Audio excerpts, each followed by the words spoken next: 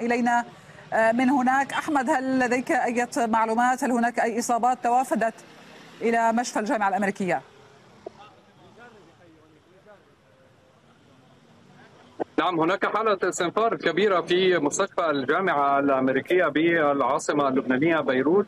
بداية من الأطقم الطبية التي استنفرت بكامل قوتها هنا في هذا المستشفى الجامعي الكبير والرئيسي وبالإضافة أيضا إلى قوى الأمن الداخلي التي انتشرت في محيط المستشفى لتأمين العبور السلس لسيارات الإسعاف التي تنقل المصابين من موقع الاستهداف الذي جرى في عين النبع والبسطة التحتية.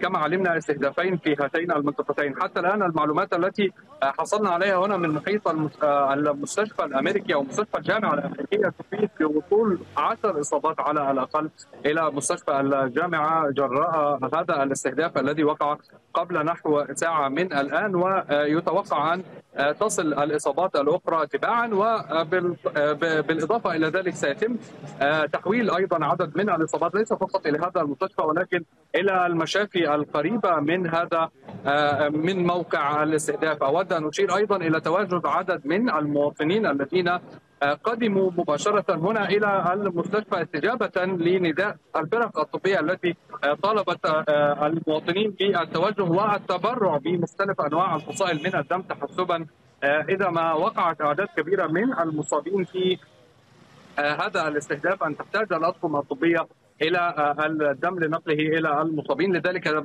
منذ علم المواطنون بهذه بهذا النداء تواجدوا في محيط مستشفى الجامعة أيضا للتوجه والتبرع نعم. بالدم كما ذكرت حالة استنفار تنتشر القوى الأمنية في محيط هذا المستشفى لفتح مسارات الدخول والخروج طيب. السلس لسيارات الإسعاف إلى المستشفى. اشير فقط أحمد إلى هذا العاجل الذي يظهر على الشاشة الآن الجيش الإسرائيلي يصدر أوامر إخلاء جديدة للسكان في حارة تحريك بالضاحية الجنوبية لبيروت. وكان مراسلون قد ذكروا بطبيعة الحال بأن الضاحية الجنوبية مخلاة من سكانها بالأساس.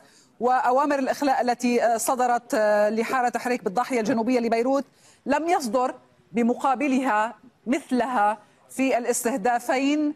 اللذين وقعا قبل قليل قبل ساعة تقريبا من الآن في مناطق رأس النبع وأنويري بالعاصمة قلب العاصمة بيروت. أحمد كنت تتحدث عن عدد الإصابات التي وصلت إلى مشفى الجامعة وأيضا عن طلبات بالتبرع بالدم تحسبا إذا كانت هناك أعداد أخرى. وأيضا تحدثت بأن هناك تواجد أمني مكثف في محيط الجامعة ونحن نراه على الشاشة مباشرة.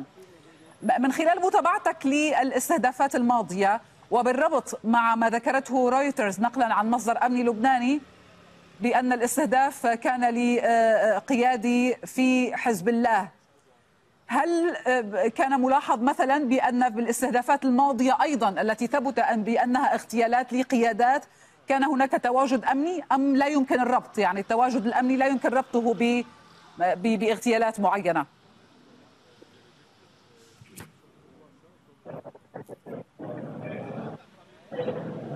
لا لا لا يمكن ربط التواجد الأمني إذا كنت تقصدين التواجد الأمني لقوى الأمن الداخلي اللبنانية أو الجيش اللبناني والتي تنتشر بشكل مكثف في شوارع وأحياء العاصمة بيروت وأيضا تنتشر في مناطق معينة في الضاحية الجنوبية بهذه الاستهدافات، هذا الاستهداف هو الثالث من نوعه الذي يطال بيروت العاصمة منذ بدات الاعتداءات الإسرائيلية على لبنان. كان هناك استهداف في منطقة الكولا وكان أيضا الاستهداف المعروف للمركز الصحي الإسلامي. لكن الآن الآن الآن إن سمحت لي أن أنقل هذا العاجل نقلا عن مركز عمليات طوارئ الصحة العامة التابع لوزارة الصحة.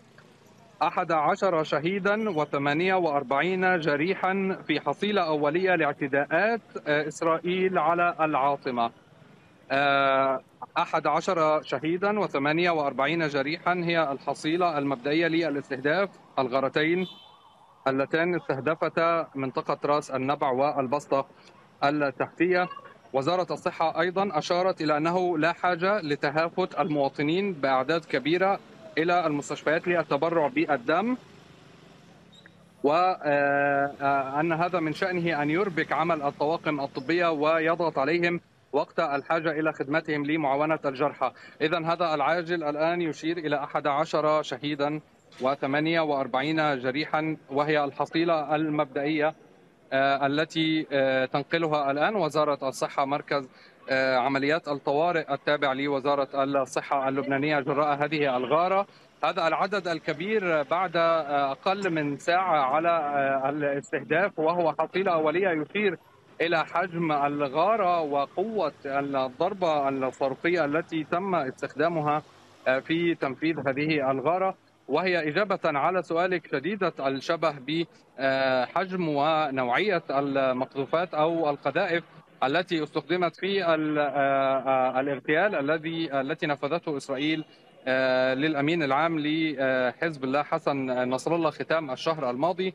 وأيضا شديدة الشبه أيضا بأصوات وحجم الانفجارات التي استهدفت أو ما تقول إسرائيل إنها استهدفت فيه هاشم صفي الدين رئيس المجلس التنفيذي لحزب الله في الضاحية الجنوبية قبل أربعة أيام من الآن.